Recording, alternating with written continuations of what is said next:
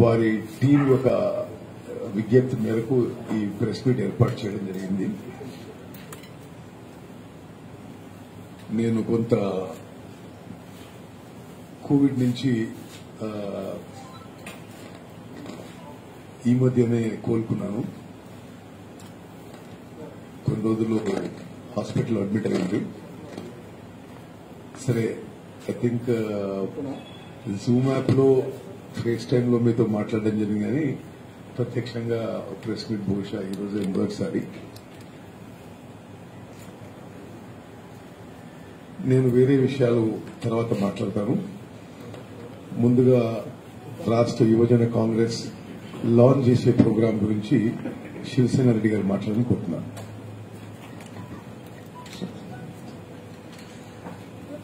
కోరుతున్నాను. ఇప్పుడు సార్ ఇప్పుడు మా- అంటే యాక్చువల్గా మేము ఈరోజు ఈ సమావేశం ఏర్పాటు చేయడానికి రాహుల్ గాంధీ కేర్స్ అని యూత్ కాంగ్రెస్ ఆధ్వర్యంలో తెలంగాణ ఆధ్వర్యంలో ఈరోజు ఏర్పాటు చేయడం జరిగింది. ఈ ఈ ప్రోగ్రామ్ని యాక్చువల్ ఈ ప్రోగ్రామ్ డిజైన్ చేయడం ఏంటంటే ఈ రోజు వరకు యువజన కాంగ్రెస్ పక్షాన మేము ఆల్మోస్ట్ ప్లాస్మా ఈ రోజు వరకు ఎక్కడికక్కడ యూత్ కాంగ్రెస్ నాయకులు అన్ని విధాలుగా ట్విట్టర్లో గానీ మా కాంగ్రెస్ పార్టీ కంట్రోల్ రూమ్లో నుండి ఎటువంటి కాల్స్ వచ్చినా ట్విట్టర్ నుంచి వచ్చిన ఆల్మోస్ట్ ప్లాస్మా ఎక్కువ మటుకు తెలంగాణ రాష్ట్రంలో యూత్ కాంగ్రెస్ లీడ్ చేయడం జరిగింది. ఇప్పటి వరకు రెండు వందల నలభై ఆరు మందికి మేము ప్లాస్మా ఇచ్చినాం. బట్ ఇంకా ఎక్కువ మందికే ఉంది కానీ మన దగ్గర ఉన్న రిపోర్ట్ రెండు వందల నలభై ఆరు మందికి. Oxygen beds almost five hundred members. Three fifty members oxygen cylinders coordinate చేయడం జరిగింది. అదేవిధంగా ఇక్కడే కాకుండా ఢిల్లీ హర్యానా గుజరాత్ కర్ణాటక ఆంధ్రప్రదేశ్ ఒరిస్సా ఛత్తీస్గఢ్లో కూడా అక్కడక్కడ నుంచి వచ్చి ఆల్ ఇండియా యూత్ కాంగ్రెస్ నుంచి మాకు ఏ ప్రోగ్రామ్స్ ఏ ఎటువంటి బెడ్ కావాలన్నా ఏది కావాలన్నా ఇక్కడ నుంచి మేము అరేంజ్ చేయడం జరిగింది ఆ యూత్ కాంగ్రెస్ ప్రెసిడెంట్లతో కలిసి. కాబట్టి అందులో భాగంగానే ఈరోజు రాహుల్ గాంధీ కేర్స్ నుంచి తెలంగాణ యూత్ కాంగ్రెస్ తరఫు నుంచి పెద్దలు ఉత్తమ్ కుమార్ రెడ్డి గారి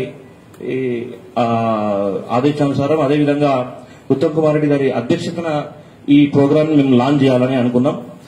స్వార్ ఆధ్వర్యంలో ఈరోజు వాటికి సంబంధించిన మా లోగో అండ్ ప్రోగ్రామ్ అంతా ఈరోజు అరేంజ్ చేస్తున్నాం. ఈ ప్రోగ్రామ్ ఏంటంటే యాక్చువల్గా వ్యాక్సిన్ వేసుకోవడానికి చాలా మందికి తెలియట్లా. వ్యాక్సిన్ మీద అవగాహన లేదు. ఆ అవగాహన కల్పించడానికే రాహుల్ గాంధీ కేర్స్ అని ప్రోగ్రామ్ ఏర్పాటు చేయడం జరిగింది. రాహుల్ గాంధీ కేర్స్ నుంచి ఈ రోజు నుంచి గ్రామ స్థాయిలో యోజన కాంగ్రెస్ ఏ విధంగా అసెంబ్లీ ప్రెసిడెంట్స్ ఉన్నారు మండల మండల ప్రెసిడెంట్స్ ఉన్నారు గ్రామ స్థాయి వరకు రాహుల్ గాంధీ కేర్స్ తరపు నుంచి వ్యాక్సిన్ మీద అవగాహన కల్పిస్తాం. ఇప్పటి వరకు వ్యాక్సిన్ వేసుకుంటే ఇంకా భయభ్రాంతులుగా ఉంది. వ్యాక్సిన్ దొరికే పరిస్థితి లేదు. వ్యాక్సిన్ దొరికినా మొన్నటి వరకు చాలా మటుకు ఇబ్బందులు పడ్డారు. ఏ విధంగా చేసుకోవాలో ఆన్లైన్ సిస్టమ్ ద్వారా అనేసి. ఒకవేళ ఆన్లైన్ సిస్టమ్ ద్వారా ఉంటే చేయడానికి మన యూత్ కాంగ్రెస్ కార్యకర్తలు గ్రాస్ లెవెల్లో పనిచేస్తున్నారు. వాళ్ళే ఏ అక్కడ ఇదే విధంగా ఒక రాహుల్ గాంధీ గేర్స్ ప్రోగ్రామ్ పెట్టుకుంటారు. ప్రతి దగ్గర ఏర్పాటు చేయడం వాళ్ళు అక్కడికి వెళ్ళడం వ్యాక్సినేషన్ వేసుకోవడం వల్ల ఉపయోగాలు ఏంటి ఏర్పాటు చేస్తారు. వ్యాక్సిన్ వేసుకున్న తర్వాత నెక్స్ట్ రిజిస్ట్రేషన్ ఎట్లా చేసుకోవాలనేది ఏర్పాటు చేస్తారు. ఫస్ట్ కరోనా వ్యాక్సిన్కి రిజిస్ట్రేషన్ హెల్ప్ డెస్క్ ఏర్పాటు చేస్తున్నాం అందుకే ప్రతి దగ్గర. ఇప్పుడు ఫస్ట్ డిస్టిక్ హెడ్ క్వార్టర్లలో ఈ రోజు లాంచ్ అవుతుంది ఇక్కడ మనం లాంచ్ చేయగానే రేపటి నుంచి జిల్లాలు తర్వాత అసెంబ్లీలకు పోతున్నాం. తర్వాత కరోనా వ్యాక్సిన్ సెంటర్లకు ట్రాన్స్కో సర్వీస్ అంటే ఎక్కడైనా వాళ్ళు ఒకవేళ వేసుకోలేని పరిస్థితుల్లో ఉంటే మన యోజన కాంగ్రెస్ మిత్రులు వాళ్ళని ట్రాన్స్పోర్ట్ అక్కడ నుంచి తీసుకొని వెళ్ళి వ్యాక్సిన్ వేయించే ప్ర- ఏర్పాటు చేస్తున్నాం. అదేవిధంగా వ్యాక్సిన్ సెంటర్ల దగ్గర ఫుడ్ డిస్ట్రిబ్యూషన్ ఏర్పాటు చేస్తున్నాం. అదేవిధంగా డాక్టర్ సర్వీసులు కూడా ఏర్పాటు చేస్తున్నాం మేము. వాళ్ళ కోసం కొన్ని నెంబర్లు కూడా మేము ఏర్పాటు చేసినాం. ఆ నెంబర్లకు ఎక్కడైనా రాష్ట్ర వ్యాప్తంగా ఇబ్బంది జరిగినా ఇమీడియట్గా ఈ నెంబర్లకు కాల్ రాగానే ఆ జిల్లాలో ఉండేటువంటి ఈ మా ఎక్కడైతే మా సెంటర్ ఉందో ఎవ్రీ డిస్టిక్లో ఆ సెంటర్ నుంచి వాళ్ళని ఇమీడియట్గా వాళ్ళ దగ్గరికి వెళ్ళి వాళ్ళకి ట్రాన్స్పోర్ట్ కావాలన్నా వ్యాక్సిన్ వేయించుకొని బయటకు వచ్చిన తర్వాత వాటర్ కానీ జ్యూస్ కానీ ఏర్పాటు. ప్రతి వ్యాక్సిన్ సెంటర్స్ దగ్గర ఈ రాహుల్ గాంధీ కేర్ ప్రోగ్రామ్ని ఏర్పాటు చేసినాం. ఎందుకోసం అంటే చాలా మంది ఎక్కడ చూసినా ఇబ్బంది పడుతున్నారు. ఈరోజు ఈ రాహుల్ గాంధీ కేర్ ఆధ్వర్యంలో దాంతో పాటు రాష్ట్ర వ్యాప్తంగా ఇంకా ఎక్కడైనా ప్లాస్మా గాని బ్లడ్ గాని లేకపోతే ఫుడ్ ఐటమ్స్ ఫుడ్ ఇష్యూస్ కానీ ట్రాన్స్పోర్ట్ విషయాలు కానీ ఏ ఇష్యూ ఉన్నా కూడా యువజన కాంగ్రెస్ గ్రాస్ లెవెల్లో అక్కడక్కడ ఆ జిల్లాలలో ఆ అసెంబ్లీలలో ఆ మండలాలలో నుంచే కంట్రోల్ రూమ్ని ఏర్పాటు చేయడం జరిగింది. అందులో భాగంగానే ఈరోజు ఈ కార్యక్రమాన్ని మొదలుపెట్టాం.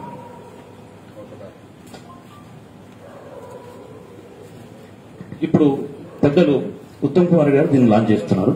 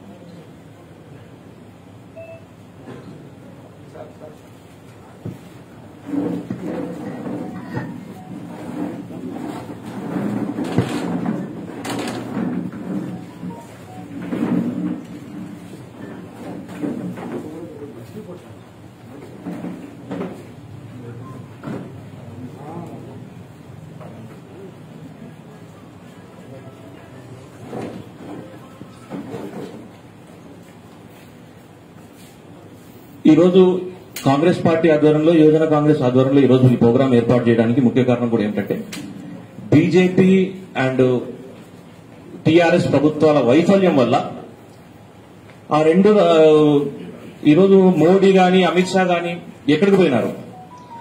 ఈరోజు మొన్నటి వరకు ప్రచారాలలో బిజీగా ఉండి ప్రజలకందరికీ కరోనాను లేని కరోనాను ఏర్పాటు చేసి ఈరోజు వాళ్ళు కనపడని పరిస్థితిలో ఉన్నారు. ఈరోజు రోజు మోడీ గాని అమిత్ షా గాని బీజేపీ నాయకులు. లోకల్లో ఉండే ప్రాంతంలో ఉండేటువంటి కూడా నలుగురు ఎంపీలు ఉన్నారు ఈరోజు. నలుగురు ఎంపీలలో ఒక ఆయన ఏమో సెంట్రల్ మినిస్టర్ ఉన్నారు ఇంకొకరేమో రాష్ట్ర అధ్యక్షుడు ఉన్నారు. ఈ రోజు వరకు ఇక్కడ ఆరోగ్యశ్రీలో చేర్చకపోవడానికి వాళ్ళు ఫండ్స్ ఎందుకు తీసుకొస్తలేరు అని అడగడానికి ఈ రోజు కూడా వాళ్ళకి ఎందుకు సిగ్గులేదో అర్థం కావట్లేదు. మళ్ళీ వాళ్ళు తిరిగి మళ్ళీ కాంగ్రెస్ పార్టీ గురించి ఏం చేసిందని కొందరు మాట్లాడుతున్నారు. ఎక్కడ సర్వీస్ ఉన్నా ఎక్కడ ఇబ్బంది ఉన్నా ఈ రోజు వరకు రోడ్ల మీద వర్క్ చేసింది కాంగ్రెస్ పార్టీ నాయకులు యువజన కాంగ్రెస్ మిత్రులు అని మరొకసారి తెలియజేస్తున్నా. దాంతోపాటు ఈ రోజు మళ్ళీ కరోనాని ఇమ్మీడియట్గా వెంటనే ఆరోగ్యశ్రీలో చేర్చాలి. దానికోసం మా మిత్రులు చాలా మంది పోరాటాలు చేస్తున్నారు. పోరాటాలు చేసిన వాళ్ళని జైలు వేస్తున్నారు అంతేకాకుండా ఎప్పుడు మేము కరోనాను ఏ రోజైతే ఇది ఉధృతంగా అవుతుందని ఊహించినామో ఆ తర్వాతనే మేము స్టెప్ టు స్టెప్ ఏర్పాటు చేయడం జరిగింది. అయినా కానీ ఈ రోజు వరకు ఆరోగ్యశ్రీలో చేర్చట్లేదు. ఈ రోజు మా కాంగ్రెస్ ప్రభుత్వం ఉన్నటువంటి రాజస్థాన్లో ఫ్రీ ట్రీట్మెంట్ ఇస్తున్నాం. మా మిత్రపక్షమైన తమిళనాడులో ఫ్రీ ట్రీట్మెంట్ ఏర్పాటు చేశారు. కానీ తెలంగాణలో ఎందుకు ఇంకా ఫ్రీ ట్రీట్మెంట్ చేయట్లేదు? ప్రజలు కూడా ఆలోచిస్తున్నారు. రాబోయే రోజుల్లో తప్పకుండా కాంగ్రెస్ పార్టీ అనుబంధ విభాగాలు ప్రజల పక్షాన ఉంటాయి ప్రజల వెంటనే ఉంటాయని కూడా మీ అందరికీ తెలియజేస్తున్నాం ప్రతి ఒక్కరికి ఒకటే ఒకటి చెప్పదలుచుకున్నాం. ఎక్కడ ఎవరు ఇబ్బంది జరిగినా యువజన కాంగ్రెస్ తరపు నుంచి మా నాయకులు కార్యకర్తలు ఎక్కడ ఉన్నా మా హెల్ప్ డెస్క్ ఉంది మా హెల్ప్ డెస్క్ ఉంది. మీరు కాల్ చేయండి. ఇక్కడ ప్రా- పార్టీలకు ఇంకో దాని గురించి మేము మాట్లాడలేం. ప్రజలు ఫస్ట్ మొట్టమొదట ప్రజలకు ఆరోగ్య విషయంలో మనం సేవ్ చేయాల్సిన బాధ్యత మన మీద ఉంది. కాబట్టి దయచేసి మీరు అందరికీ చెప్తున్నాం. కాంగ్రెస్ పార్టీలో ఎవరికైనా కానీ మిత్రులకు కానీ ప్రజలకు ఎవరికి ఎక్కడ ఇబ్బంది జరిగినా మా హెల్ప్ డెస్క్కు మా కంట్రోల్ రూమ్కి విపరీతమైన ఫోన్ కాల్స్ వస్తున్నాయి. కంట్రోల్ రూమ్కి వచ్చిన గ్యాస్ లేకపోయినా మొన్నటి వరకు మేము బ్లడ్ కూడా డొనేట్ చేయడం జరిగింది. దాంతో పాటు ఈ ఆక్సిజన్ సిలిండర్స్ లేని వాళ్ళకు చాలా వరకు ఆక్సిజన్ సప్లై చేసినాం. ఇప్పటికీ కూడా ఇంకా ఆక్సిజన్ ఏమైనా ఇబ్బంది ఉన్నా కూడా ఇమీడియట్గా మా కంట్రోల్ రూమ్కి ఇవ్వాలని కాల్ చేయంగానే ఉత్తమ్ కుమార్ రెడ్డి గారి ఆధ్వర్యంలో భారీ ఎత్తున ఈరోజు రోజు కంట్రోల్ రూమ్ ఏర్పాటు చేయడం జరిగింది అక్కడ గాంధీ భవన్లో అక్కడ నుంచి విత్ ఇన్ మినిట్స్లో మాకు కాల్స్ వస్తున్నాయి.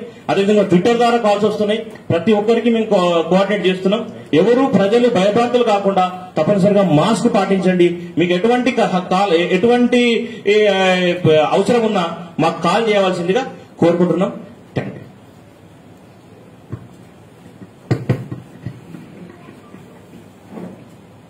మీడియా మిత్రులకి మరో మారు నమస్కారం తెలియజేస్తూ అదేవిధంగా నా ఇంటికి వచ్చినందుకు ధన్యవాదాలు తెలియజేస్తూ. ఈరోజు ప్రధానంగా రాహుల్ గాంధీ కేర్స్ అనే ప్రోగ్రాము యువజన కాంగ్రెస్ ద్వారా దేశవ్యాప్తంగా రాష్ట్ర వ్యాప్తంగా చేపడుతున్న ఈ కార్యక్రమానికి వారికి నేను అభినందనలు తెలియజేస్తున్నాను. ఇంకో విషయం చెప్పాలి. రాష్ట్ర యువజన కాంగ్రెస్ శివసేన రెడ్డి గారి ఆధ్వర్యంలో ఎప్పటి నుంచి అయితే ఈ సెకండ్ వేవ్ మొదలైందో నిజంగా వాళ్ళు చాలా అద్భుతంగా ఒక సోషల్ సర్వీస్ మోటివ్తో ముందుకు పోతుంది. నేను వాళ్ళని అభినందిస్తున్నాను. దేశవ్యాప్తంగా కూడా రాష్ట్ర వ్యాప్తంగా కూడా యువజన కాంగ్రెస్కి ఇది ప్రజలకి అందుబాటులో ఉండి ఎటువంటి కరోనాకు సంబంధించిన కష్టాలైనా వాళ్ళు ఏ విధంగా ఆదుకుంటున్నారో మనం అందరం చూస్తున్నాం. ఏ స్థాయిలో ఆదుకుంటున్నారంటే ఢిల్లీలో ఫారెన్ ఎంబసీస్ విదేశీ అంబాసిడర్స్ ఎంబసీస్ కూడా యువజన కాంగ్రెస్ని కాంటాక్ట్ చేస్తున్నాయి. మాకు ఆక్సిజన్ లేదని మాకు ఇందులో సాయం చేయమని అది. మరి వారికి కూడా తెలంగాణ పిసిసి తరఫు నుంచి దేశంలో రాష్ట్రంలో యువజన కాంగ్రెస్ చేస్తున్న సర్వీస్ గురించి నేను అభినందిస్తూ మరి రెండు మూడు మాటలు రాష్ట్రంలో జరుగుతున్న కరోనా పరిస్థితుల గురించి నేను మనం చేయాలి. ప్రతిరోజు హుజూర్ నగర్ నుంచి హైదరాబాద్ వరకు గద్వాల్ నుంచి నిర్మల్ వరకు కొన్ని వందల మంది వేల మంది కోవిడ్ బాధితులు నాకు గాని కాంగ్రెస్ పార్టీ నాయకులకి కార్యకర్తలకి ఫోన్ చేస్తున్నారు. మరి సహాయం చేయండి మేము ఇబ్బంది పడుతున్నాం అని. నేను నా సరే నాకు వచ్చిన టెలిఫోన్ కాల్స్ కానీ నేను చేసిన మరి ఎంక్వైరీ విషయంలో కూడా రాష్ట్ర కేంద్ర ప్రభుత్వాలు పూర్తిగా పూర్తిగా పూర్తిగా ఈ కోవిడ్ సెకండ్ వేవ్లో ముందు చూపు లేక అవగాహన లేక సమర్థత లేక చాతగానితనంతో ఈ దేశ రాష్ట్ర ప్రజల్ని ఈరోజు ఈ క్రైసిస్ పరిస్థితిలో తీసుకొచ్చిన మాట మీరందరూ గమనిస్తున్నారు. నిస్సందేహంగా నరేంద్ర మోదీ దేశవ్యాప్తంగా కల్వకుంట్ల చంద్రశేఖరరావు ఈ రాష్ట్ర వ్యాప్తంగా వారి యొక్క చాతగానితనంతో అసమర్థతతో ముందు చూపు లేనితనంతో ఫోర్ సైట్ లేదు ప్లానింగ్ లేదు వల్ల ఈ రోజు మరి తెలంగాణలో గాని దేశంలో గాని ప్రజలు ఇబ్బంది పడుతున్న మాట వాస్తవం. మీ ద్వారా నేను నేను మేము రిక్వెస్ట్ చేస్తున్న మేము మాట్లాడే విషయాలు మీ ద్వారా ప్రజలకి ఎక్కువ ప్రామినెంట్గా చేరాలని ప్రజల ద్వారా ప్రభుత్వాలని ఒత్తిడి పడాలని ఇప్పుడన్నా మేల్కొని ప్రభుత్వాలు ప్రజలకి మేలు చేయాలనే ఉద్దేశంతో ఈ ప్రెస్ మీట్ పెట్టడం జరిగింది. టెస్టింగ్ మార్చ్ టూ థౌజండ్ ట్వంటీలో మార్చ్ టూ థౌజండ్ ట్వంటీలో మార్చ్ ఇరవై ఒకటో ఇరవై రెండు ఇరవై రెండు అనుకుంటా. రాష్ట్ర వ్యాప్తంగా లాక్డౌన్ పెట్టిండు కేసీఆర్. మరి మార్చ్ ఇరవై రెండు ట్వంటీ ట్వంటీ నుంచి ఇప్పుడు ఈరోజు May twenty twenty one. One year and three months తర్వాత కూడా తెలంగాణలో టెస్టింగ్ టెస్టింగ్ కిట్స్ కానీ ఎక్విప్మెంట్ లేకపోవడానికి కేసీఆర్ చాతగానితనమా నేను అడుగుతున్నా. ఇంకోటి టెస్టింగ్ విషయంలో కూడా కేంద్ర ప్రభుత్వం కూడా తన అసమర్థత ఫోర్ సైట్ లేక ప్లానింగ్ లేక ఏమంటున్నారు ఇప్పుడు? టెస్ట్ లేకున్నా పర్వాలేదు హాస్పిటల్లో ట్రీట్మెంట్ చేయడానికి అనుమతిస్తున్నామని అది ఎంత నేను చాలా మంది ప్రముఖ డాక్టర్లతో ప్రముఖ హాస్పిటల్తో మాట్లాడాను. అది ఎంత అంటే మీరు టెస్టింగ్ సరిగ్గా చేయక సరైన సంఖ్యలో చేయక ఒక పేషెంట్ జ్వరము కోల్డ్తో హాస్పిటల్ వచ్చిందనుకుని అతను కోవిడ్ పేషెంట్ కదా తెలియక హాస్పిటల్స్ డాక్టర్స్ సతమతమవుతున్నారు. పాయింట్ వన్ పాయింట్ టూ అసలు మీకు లెక్కలు చెప్పాలి. ఇప్పుడు తెలంగాణ రాష్ట్రంలో ఎక్కువ శాతం ర్యాపిడ్ యాంటీజెన్ టెస్ట్ జరుగుతుంది జిల్లాలో. ర్యాపిడ్ యాంటీజెన్ టెస్ట్లో చాలా ఫాల్స్ నెగటివ్స్ వస్తాయి.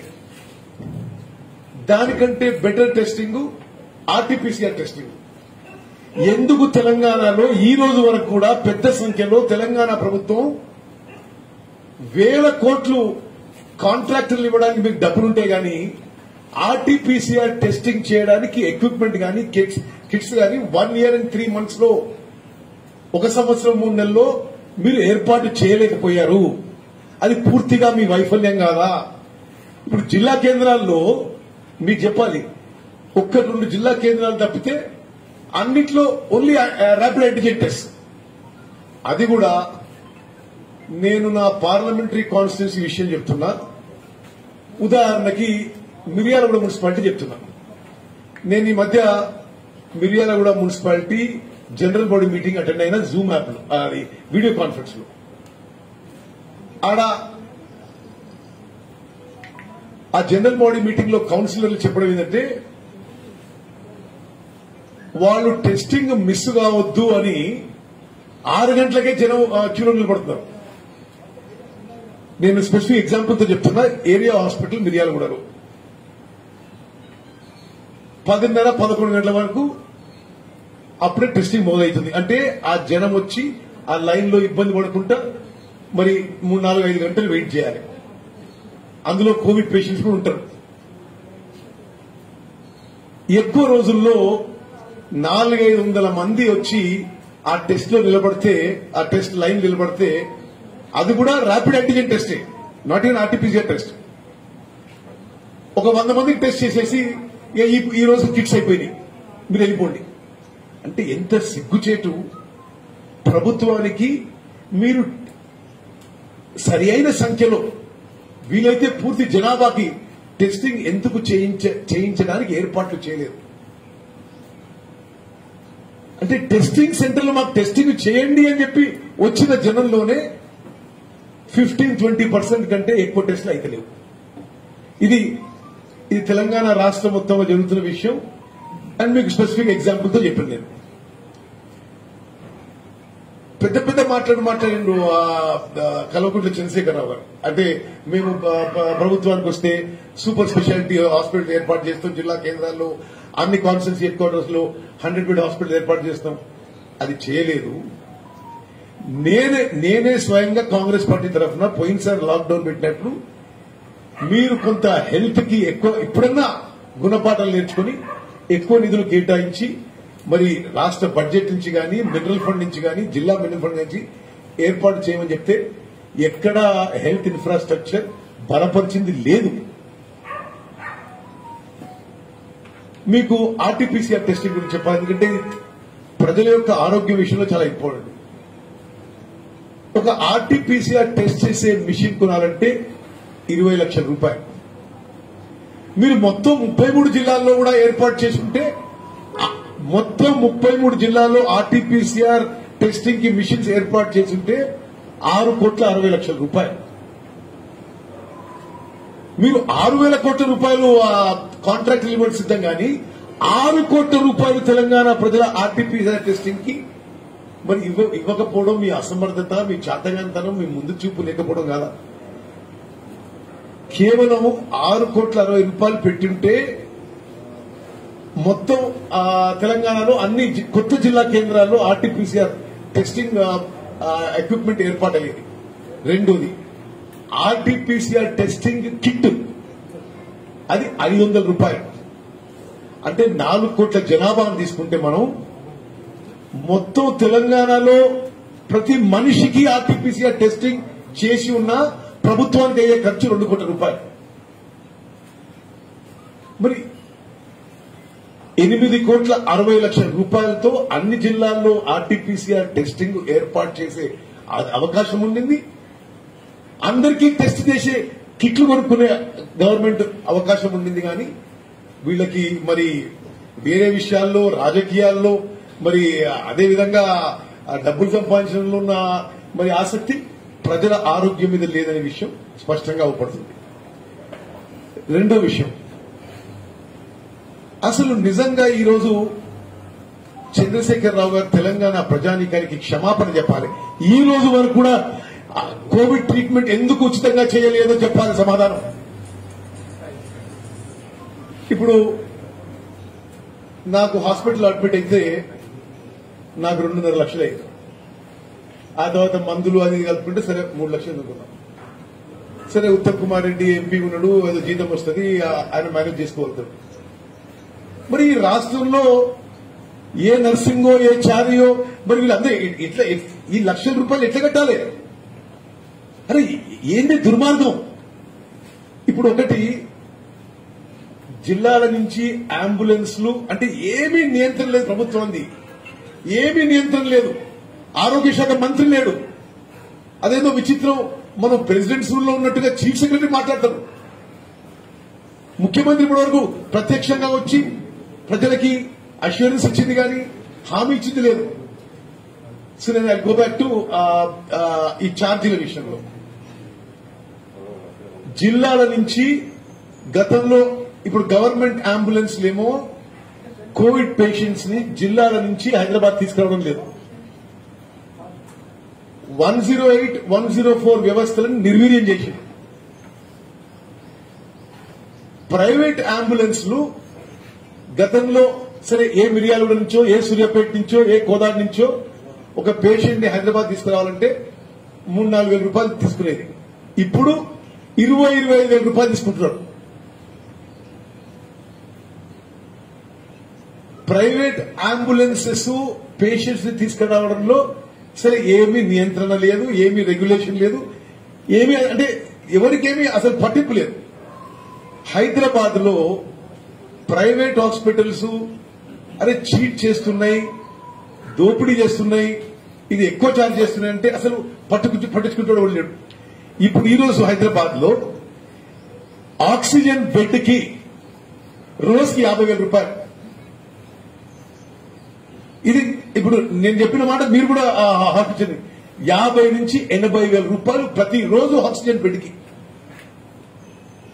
వెంటిలేటర్ బెడ్కి రోజుకి లక్షన్నర లక్షలు రోజు ప్రతి రోజుకి. అంటే తెలంగాణలో ధనిక రాష్ట్రం అంటాం తెలి- తెలంగాణ ప్రజల వల్లనే ఈ- మా- ఇంత రిచ్ స్టేట్ అయినాం. వాళ్ళకి మీరు అంబులెన్స్ ఏర్పాటు చేయడంలో ఆక్సిజన్ బెడ్ వెంటిలేటర్ బెడ్లో ఈ విధంగా ప్రైవేట్ హాస్పిటల్స్ ఛార్జ్ చేస్తుంటే ఎందుకు ప్రభుత్వ నియంత్రణ లేదు? అది నియంత్రణ లేదు. రెండోది సెప్టెంబర్ తొమ్మిదో తారీఖున ముఖ్యమంత్రి గారు on the floor of the house Bhatti Vikramarka గారు చేసిన సూచన మేరకు ఎస్ ఎస్ ఆరోగ్యశ్రీలో చేర్చడం ఇది మంచి సూచన మేము పరిశీలిస్తాం అన్నాడు. September October November December January February March April May. Chandrashekar Rao గారు సిగ్గుపడాలి. మీరు తొమ్మిది నెలల తర్వాత ఈ రాష్ట్రంలో జనం విరవిల్లాడిపోతుంటే అరే మొత్తం ఆస్తులు అమ్ముకుంటుంటే ఇంట్లో ఉన్న బంగారం ప్రాపర్టీ భూములు అమ్ముకుంటుంటే లక్షల రూపాయల్లో ప్రైవేట్ హాస్పిటల్ ఛార్జ్ చేస్తుంటే ఎందుకు మీరు ఆరోగ్యశ్రీలు చేర్చడం లేదు? దీన్ని ఖచ్చితంగా చీఫ్ మినిస్టర్ రెస్పాన్సిబుల్ ఈ విధంగా తెలంగాణలో ఈరోజు బీపీఎల్ కుటుంబాలే కాదు. Lower middle class middle class కుటుంబాలు కూడా ఆగమైపోతున్నాయి. అల్లాడిపోతున్నారు. ఎక్కడి నుంచి కడతారు ఈ లక్ష లక్షలు? ఈ విషయంలో మేము డిమాండ్ చేస్తున్నాం. నిన్న నేను ఒక కేటీఆర్ గారు ఇంటర్వ్యూ చేసిన. ఒక ఆయన అడిగిండు ఆరోగ్యశ్రీలో ఎందుకు చేర్చడం లేదు.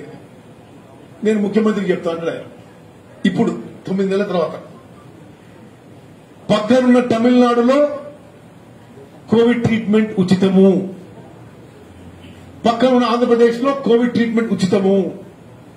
ఈ దేశంలో ఎక్కువ రాష్ట్రాల్లో కోవిడ్ ట్రీట్మెంట్ ఉచితము. ఎందుకు తెలంగాణలో ఉచితంగా చేయలేదో కేసీఆర్ గారు జవాబు చెప్పాలి తెలంగాణ ప్రజలకి క్షమాపణ చెప్పాలి. అదేవిధంగా వాస్తవంగా హైదరాబాద్ నగరం వీళ్ళ వీళ్ళ వల్ల కాదు.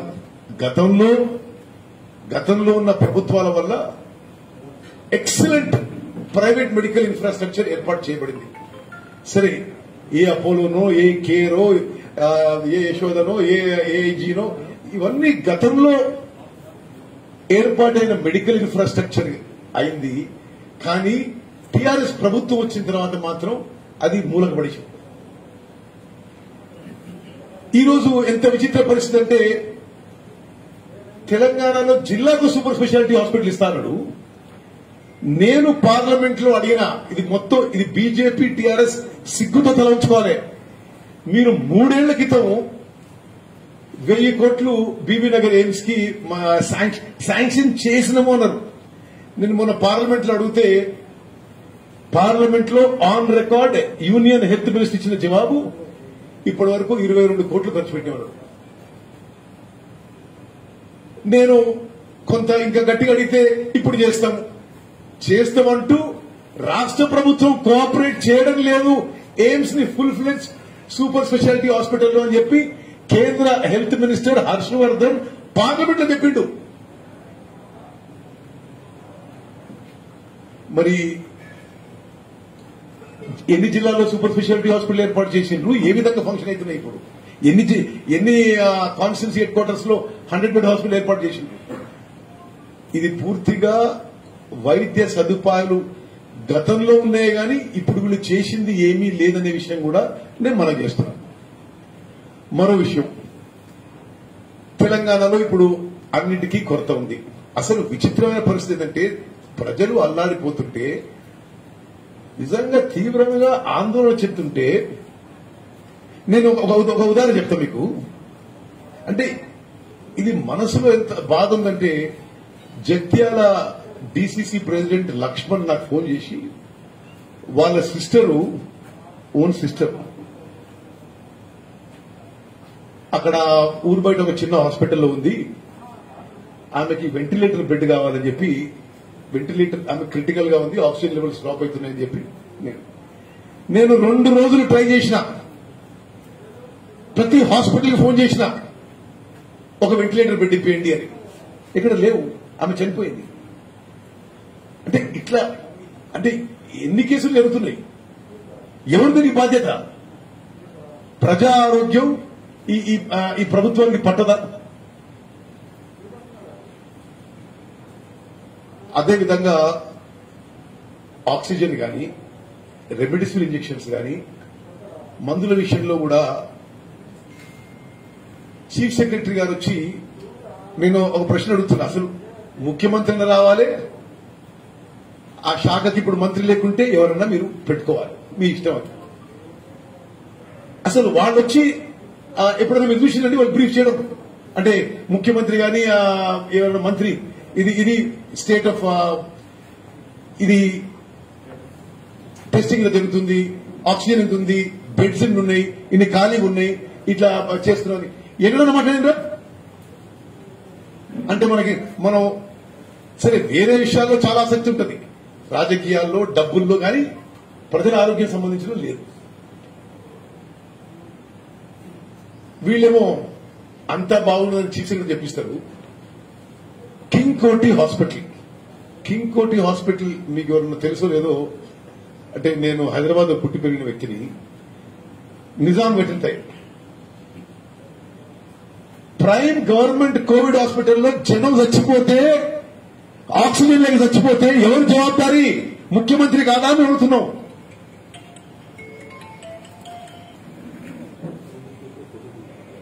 రెండు ఉన్నాయి ఇప్పుడు. ఒకటి రెండు మూడు ఉన్నాయి ఆ, హాస్పిటల్ ఇది COVID designated hospital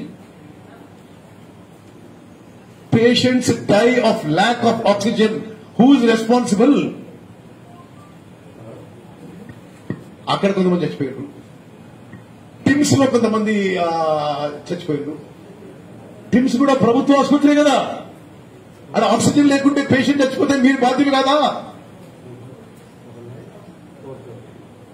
మరి ఇంత అసమర్థత ఇంత చాటగంతనం ఇంత ముందు చూపు లేకపోవడం ఇది చాలా చాలా దురదృష్టకరం.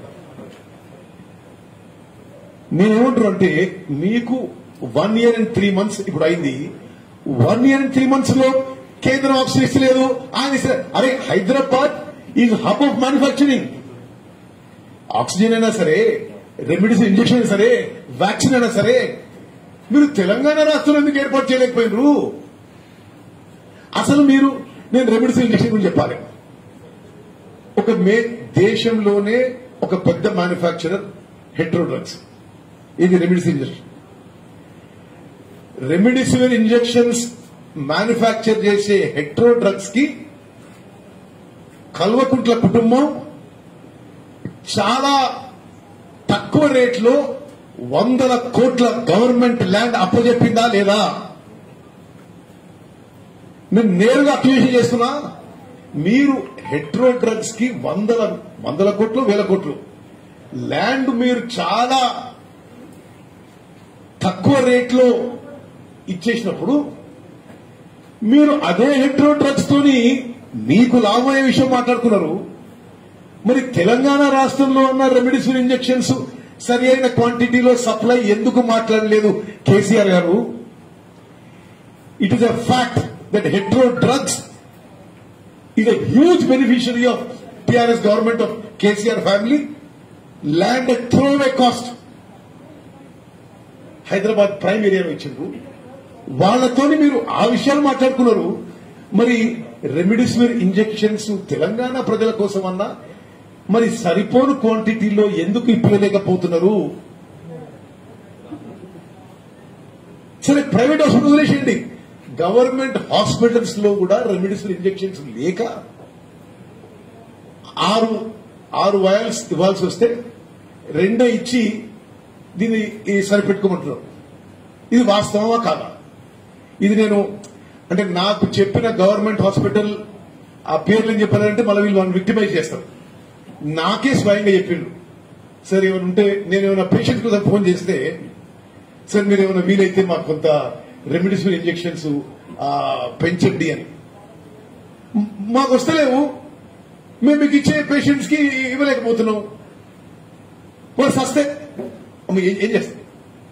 అంటే ఇది పూర్తిగా అసలు I'm really shock in one year and three months హైదరాబాద్లో మ్యానుఫ్యాక్చర్ అయ్యే హెట్రో డ్రగ్స్ రెమిడిసిన్ ఇంజెక్షన్ తోని మ్యానుఫ్యాక్చరర్స్ తోని మీరు మాట్లాడినరా ఏం మాట్లాడినరు ఎందుకు సరి అయిన క్వాంటిటీలో ఇదేదో వీళ్ళందరూ మాటి మాటికి సెంట్రల్ గవర్నమెంట్. సరే మోదీ మీరు కలిసి చేసే అసంబంధం అనుకుందాం.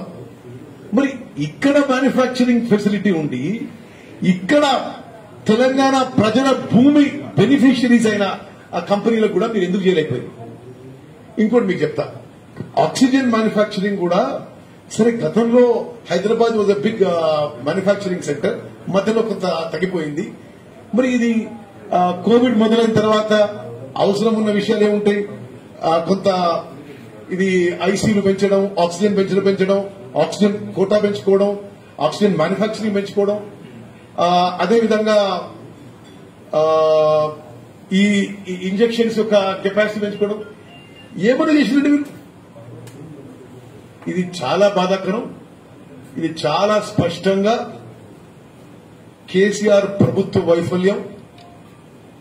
మరి దీని మధ్యలో మీ రాజకీయం మళ్ళీ. సరే మీకు మీ మంత్రులకు ఏమున్నదో మాకు తెలియదు దీంట్లో మళ్ళా ప్రస్తుతానికి ఆరోగ్య శాఖ మంత్రి లేడు అంటే ఈజ్ ఇట్ పాసిబుల్ కేసీఆర్ గారు ఆరోగ్య శాఖ మంత్రి రోజు రివ్యూ చేసి పనిచేస్తారు కదండి అంటే ఈ అధికారంలో ఫామ్ హౌస్ పోవాలన్నా ఇది it's a totally wrong thing it is ఇది మీ మీరేం రాజకీయాలు చేసుకుంటే ఆ విషయం మీ మీద ఇష్టం కానీ ఆ విషయంలో మేము మాట్లాడడం కానీ ఫుల్ ఫ్లెడ్జ్గా ఆరోగ్య శాఖ మంత్రి లేకపోవడం ఈ తెలంగాణ ప్రజలు కూడా గమనించాలి. వాట్ ఈస్ దిస్ మిత్రులారా అన్ని విషయాల్లో ఆ ఇంకొకటి. మీకు టెస్టింగే లేకుంటే మీకు తగ్గుతున్నాయి పెరుగుతున్నాయి తెలంగాణ అంత బాగానే ఉంది సరైన ఎక్కడ ఎట్లా తెలుసు మీకు? టెస్ట్ టెస్టింగ్ నెంబర్స్ మీరు చూస్తే చుట్టుపక్కల అన్ని రాష్ట్రాల్లో one and half two lakh numbers జరుగుతున్నాయి రోజుకి. ఎవ్రీడే తెలంగాణలో జరుగుతున్న టెస్టింగ్ యాభై వేలు దాటలేదు. ఎందుకంత తక్కువ టెస్టింగ్ చేస్తుంది మీరు? అంటే సంఖ్య తక్కువ చూపెట్టాలన్నా నేను మేము ఫస్ట్ టైం వన్ ఇయర్ ఒక సంవత్సరం మూడు నెలల క్రితం మేము గవర్నర్ దగ్గరకు పోయి అండర్ రిపోర్టింగ్ చేస్తున్నారు టెస్ట్ అండర్ రిపోర్టింగ్ చేస్తున్నారు చావులు అండర్ రిపోర్టింగ్ చేస్తున్నారు చెప్తే మమ్మల్ని అడ్డగోలు బూతులు తెచ్చిండు స్వయాన ముఖ్యమంత్రి అడ్డగోలు మాట్లాడిండు.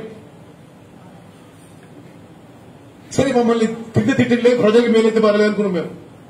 గవర్నర్కి ఇచ్చిన రిప్రజెంటేషన్. ఆ రోజుకి ఈ రోజుకి ఆ రోజు దేశంలో టెస్టింగ్లో తెలంగాణ లాస్ట్ ఈ రోజు దేశంలో టెస్టింగ్లో తెలంగాణ లాస్ట్ ఇది ఈ కరోనా వల్ల ప్రజలు తీవ్రంగా తీవ్రంగా ఇబ్బంది పడుతున్నారు. ఒక భయాందోళన పరిస్థితి ఉంది. ప్రభుత్వానికి కళ్ళు తెరిచి ఇప్పుడైనా మేలుకోవాల్సిన అవసరం ఉంది. ప్ర- ఇప్పుడు central government health scheme I think Ayushman Bharat అనుకుంటా ఆ పేరు. దాంట్లో ఆరోగ్యశ్రీ ఫ్రీ దాంట్లో కోవిడ్ ట్రీట్మెంట్ ఫ్రీ. అది తెలంగాణలో అమలు చేయరు. అరే నీ సొమ్మే పోతుందా? ఆ అదన్న అమలు చేయి నువ్వైనా ఫ్రీ ఇవ్వు. తెలంగాణ